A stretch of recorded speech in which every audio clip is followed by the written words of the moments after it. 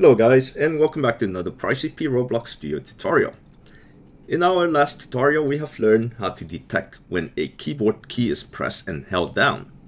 In today's tutorial we're going to use that information that we learned from our prior tutorial to make something useful in our game. In this tutorial we're going to learn how to make a sprint button. The first thing that came to mind was which key should I use for a sprint button.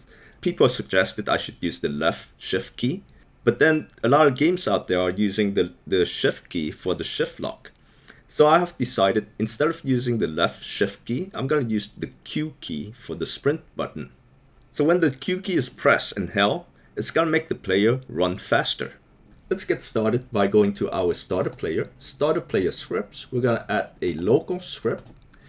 In your local script, just put in the following lines.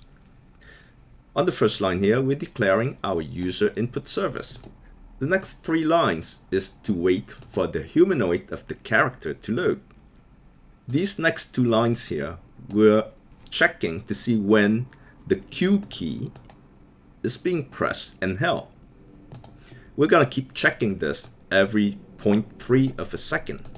If we have detected that the Q key is being held down, we're gonna add 3 to the walk speed of the humanoid of the character. The higher the walk speed, the faster the character is going to run. And we're capping the walk speed at 50. So 50 is the maximum walk speed for the character. Let's now play look.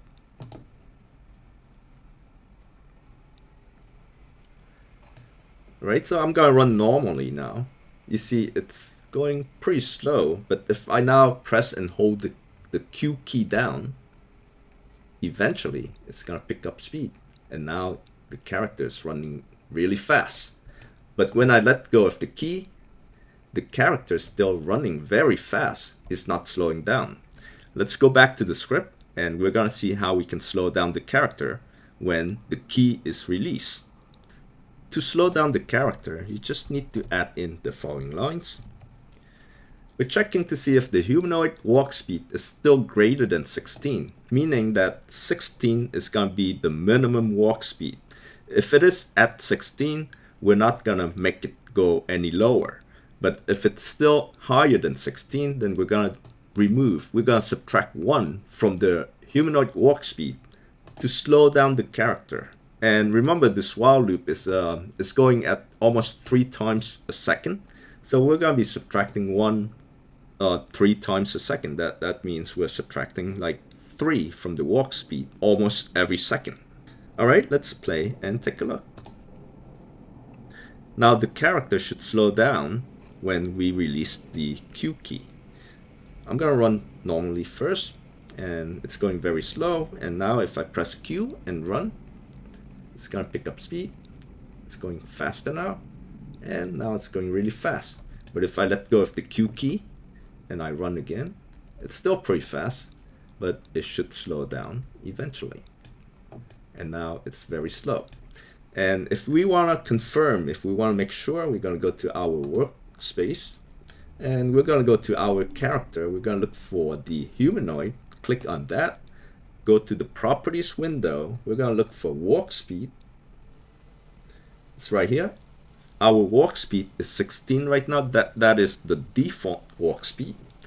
If I run right now, I'm running pretty slow. If I press the Q key down, I'm, I'm speeding up and you can see the walk speed is increasing. Now, if I'm gonna release the Q key, you can see the walk speed is coming back down. And when it hits 16, it should stop. And there it is. I'm at 16 now and it's running very slow.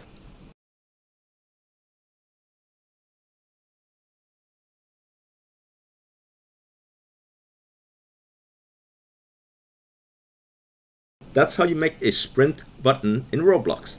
Thank you for watching. We will see you again soon. Take care.